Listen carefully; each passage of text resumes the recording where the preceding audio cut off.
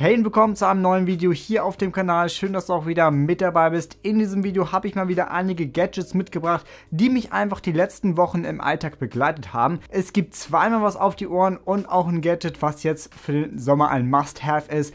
Ich wünsche euch ganz viel Spaß. Los geht's nach dem Intro.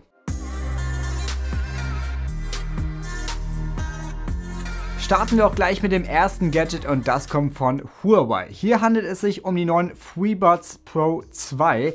Vor kurzem war ich ja in Berlin auf dem Huawei Event und da wurden unter anderem auch diese Kopfhörer vorgestellt. Die habe ich jetzt natürlich die letzte Zeit im Alltag getestet und möchte euch mal sagen, wie die so sind. Es handelt sich hierbei um True Wireless Kopfhörer. Gibt es in drei verschiedenen Farbvarianten. In meinem Fall habe ich diese schicke blaue Variante. Gibt es aber auch noch in Silber und in Weiß. Blende ich euch an dieser Stelle hier einfach nochmal ein. Wenn wir mal auf die Rückseite der Ladeschale schauen, sehen wir hier schon, dass das Ganze in Zusammenarbeit mit DWLE entstanden ist. DWLE kennt ihr vielleicht schon von diesen Speakern und die haben halt auch bei den Kopfhörern hier mitgewirkt. Vom Design muss ich sagen, gefällt mir diese polierte Optik hier richtig gut, sehen sehr schön im Ohr aus, stehen allerdings etwas weit aus dem Ohr heraus, finde ich. Jedenfalls bei mir, vielleicht ist es bei anderen Leuten wieder anders. Zum Tragekomfort kann ich sagen, dass sie auf jeden Fall sehr angenehm sind. Es gibt verschiedene Ohr Ohrpaarstücke natürlich. Bei mir passt der Standard-Ohraufsatz aber wirklich ja, perfekt, muss ich sagen. Ich nutze es auch zum Sport, gerade wenn ich jetzt mal Rad fahren möchte oder auch mal joggen gehe. Und ich hatte es jetzt nicht so, dass sie bei mir irgendwie locker wurden oder rausgefallen sind.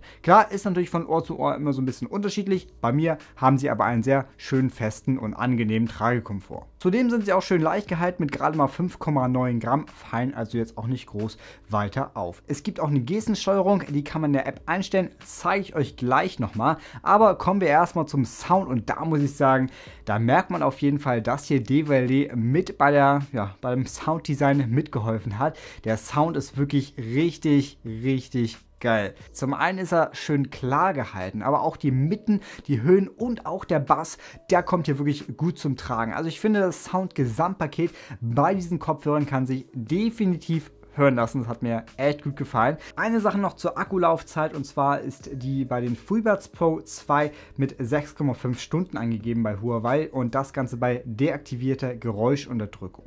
Wenn man die Geräuschunterdrückung jetzt anschaltet, dann kommt man so auf 4,5 Stunden. Hängt natürlich auch immer davon ab, wie laut man jetzt Musik hört und mit dem Case kommt man insgesamt auf 30 Stunden. Apropos Geräuschunterdrückung, die funktioniert hier auch ziemlich zuverlässig. Da gibt es auch verschiedene Modi, die wir einstellen können. Auch ein einen Ultramodus, womit einfach nochmal mehr abgeschirmt wird. Also wenn ihr in lauten Umgebungen seid, aktiviert auf jeden Fall den Ultramodus. Ansonsten könnt ihr auch den ausgeglichenen Modus aktivieren. Aber auch das gucken wir uns gleich in der App nochmal an. Und eine Sache noch zu den unterstützten Codecs. Wir haben hier AAC, LDAC, H2HC. Und jetzt würde ich sagen, hören wir uns nochmal kurz die Mikrofonqualität an. Kopfhörer sind eingesetzt, ihr seht es schon und der Sound kommt jetzt nicht von dem Mikrofon hier über mir, sondern natürlich aus den Mikrofonen der Kopfhörer. Und so habt ihr hier auch schon mal einen guten Eindruck, wie nun die Audioqualität ist. Mir gefällt sie auf jeden Fall besser als von den AirPods Pro. Ich bin jetzt hier in der App drin und zeige euch nochmal ein paar Funktionen. Zum einen bei der Geräuschunterdrückung. Das können wir hier zum einen in der Mitte auswählen und hier gibt es dann auch den Modus, den wir auswählen können. Ich habe es eben schon angesprochen, es gibt einen Ultra-Modus für wirklich laute Umgebungen. Ansonsten Ansonsten reicht aber auch der ausgeglichene Modus, wie ich finde, vollkommen aus.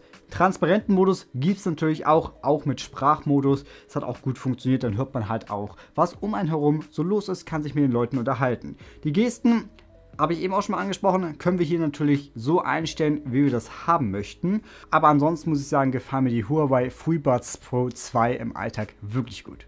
Weiter geht's mit dem zweiten Produkt von Huawei. Das wurde ebenfalls beim Event vorgestellt und das haben wir dann auch als Testmuster bekommen. Und äh, das ist der Huawei Style Backpack, der neue. Und den gibt es auch in verschiedenen Farbvarianten. Blende ich euch hier nochmal ein. Ich habe mich hier für die schöne minimalistische weiße Variante entschieden. Generell ist der Rucksack schön minimalistisch gestaltet und hat auch ordentlich Volumen. Ganze 18,5 Liter passen hier rein. Den kann man dann auch nochmal ausrollen und hat dann somit eigentlich genug Platz, um alles zu verstauen, was man unterwegs mitnehmen möchte. Es gibt sehr, sehr viel Stauraum. Zum einen auf der Vorderseite und dann natürlich auch in der Innenseite gibt es verschiedene Fächer. Wir haben ein Laptopfach bis zu 16 Zoll, also kriegt man ordentlich was unter. Und das Coole ist, wir können den auch an der Seite aufmachen, um so einen besseren ja, Zugang zu dem Inhalt des Rucksacks zu bekommen. Vom Material her oder beziehungsweise der Rucksack an sich ist wirklich sehr, sehr hochwertig gehalten. Das merkt man auch, wenn man den hier das erste Mal in die Hand nimmt.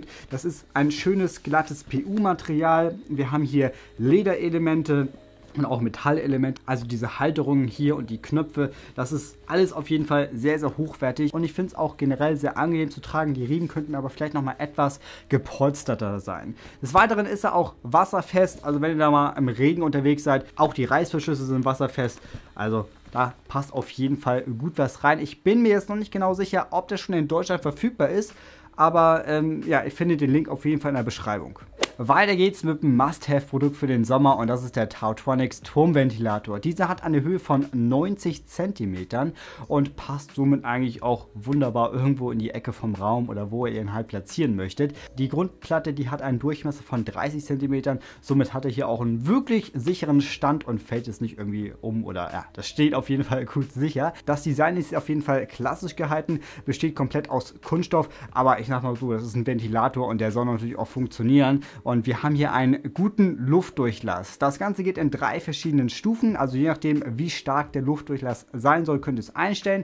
Es gibt hier auch einen Brise-Modus, da variiert dann der Luftdurchlass, also da ist es ab und zu mal so ein bisschen stärker, mal ein bisschen weniger, als wenn ihr halt irgendwie eine Windbrise auf euch zukommen lasst. Und ich muss sagen, auch von der Lautstärke ist das hier sehr angenehm. Im Schlafmodus ist er nämlich 44 Dezibel laut und das geht auf jeden Fall in Ordnung, wenn man irgendwie abends mal, ja, wenn ihr schlafen gehen möchtet, das Ding noch laufen lassen möchtet. Wenn ihr natürlich den vollen Luftdurchlass haben möchtet, wird er entsprechend auch lauter. Des Weiteren kann er sich auch 65 Grad drehen, um halt einfach nochmal eine größere Fläche abzudecken. Ihr könnt es natürlich auch deaktivieren, dass er halt immer in eine Richtung pusten soll. Es gibt auch einen eingebauten Timer, da könnt ihr dann bis zu 12 Stunden den Ventilator halt einstellen, dass er sich danach dann automatisch ausschaltet. Sehr praktisch finde ich auch die Fernbedienung, so müsst ihr nicht am Ventilator an sich das alles einstellen, geht natürlich auch, aber über die Fernbedienung ist es einfach nochmal so ein bisschen einfacher. Am Ventilator an sich habt ihr hier auch eine LED-Anzeige, da seht ihr dann die aktuelle Temperatur,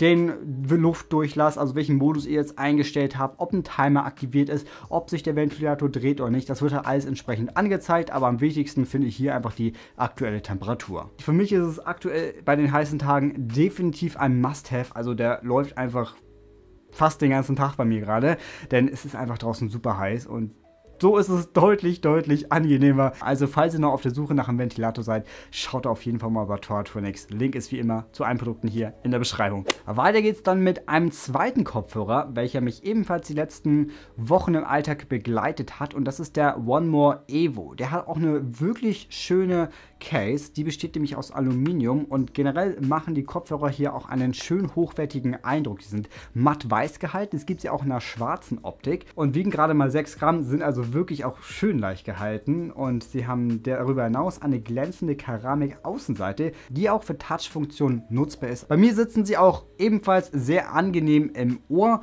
und ich finde auch das Design der Kopfhörer sieht hier sehr schön aus. Sie stehen jetzt nicht so weit aus dem Ohr heraus, sondern ja, das passt auf jeden Fall. Es gibt hier auch natürlich verschiedene Ohraufsätze, passt auf jeden Fall alle mal so ein bisschen durch, damit es halt auch bei euch gut im Ohr passt und bei mir sitzen sie auch schön fest im Ohr und fallen es auch nicht heraus. Darüber hinaus sind sie auch IPX4 gegen Wasser und Schweiß geschützt, was natürlich auch gerade beim Sport sehr wichtig ist. Außerdem haben wir hier SBC, ARC und auch den hochauflösenden Audiocodec LDAC. Die Kopfhörer haben jeweils einen dynamischen 10 mm Treiber. Die Wiedergabezeit des Herstellers die beläuft sich auf 5,5 Stunden bei aktiviertem Noise Cancelling bei 50% Lautstärke und ohne Noise Cancelling kommt ihr auf bis zu 8 Stunden. Auch schnelles Laden wird hier unterstützt. 15 Minuten Aufladen reicht hier wieder bis zu 4 Stunden Musik hören aus. Noise Cancelling gibt es ebenfalls, ich habe es eben schon mal angesprochen, der Pegel wird dann auf minus 42 Dezibel abgesenkt und somit werden dann hier auch alle Umgebungsgeräusche schön ausgeblendet.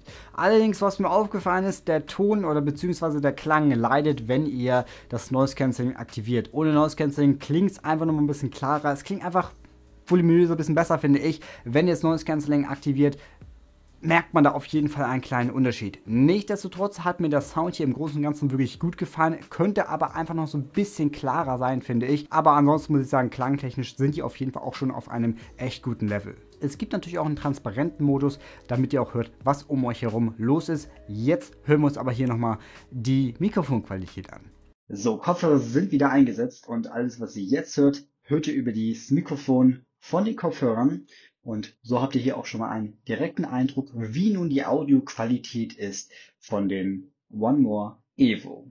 So sieht die App aus, ist eigentlich selbsterklärend aufgebaut und hier können wir natürlich auch direkt den Modus auswählen, ob aus, Transparenz, also dass man hört, was um einen herum los ist, oder auch den ANC-Modus. Und auch hier gibt es verschiedene Auswahlmöglichkeiten, wie der ANC-Modus sein soll, ob stark, schwach oder adaptiv. Was auch noch ganz interessant ist, und zwar gibt es hier die professionelle Abstimmung. Ich habe jetzt hier den voreingestellten Equalizer ausgewählt. Man kann das Ganze natürlich auch personalisieren, so wie ihr das haben möchtet. Oder es gibt auch Sound-ID, was aber irgendwie bei mir nicht weitergeht als dieses Feld. Vielleicht wird das noch gefixt, keine Ahnung, aber da kann man auch mal den Sound deutlich mehr personalisieren. Ich weiß nicht, vielleicht ist es aktuell auch ein Bug. Ist auf jeden Fall ganz praktisch, aber ich konnte es jetzt noch nicht austesten. Ansonsten haben mir die One More Evo im Alltag auf jeden Fall auch gut gefallen, sind auf jeden Fall deutlich günstiger als jetzt die Huawei FreeBuds Pro 2, aber man muss natürlich auch ein paar Abstriche machen. Ansonsten war es das auch schon wieder von diesem Video. Ich hoffe, es hat euch gefallen. Wie immer sehen wir uns dann im nächsten Video wieder. Bis dann, macht's gut. Ciao, ciao.